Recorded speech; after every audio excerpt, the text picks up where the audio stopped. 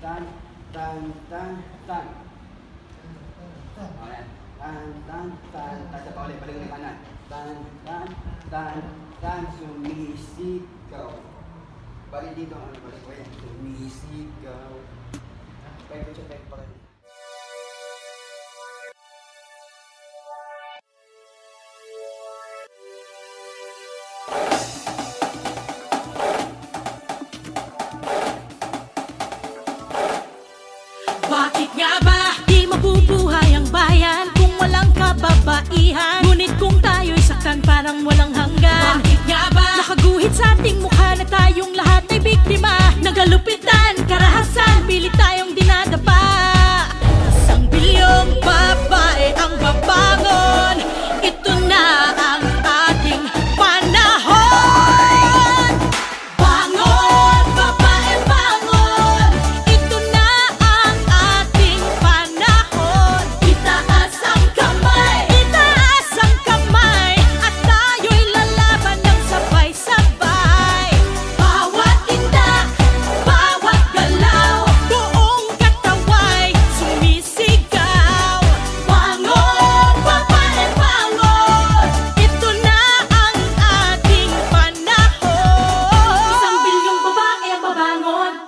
ang ating panahon.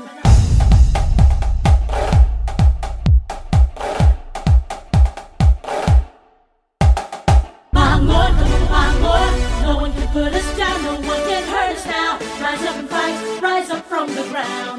Bangon, bangon. No one can put us down, no one can hurt us now. Rise up and fight, rise up from the ground.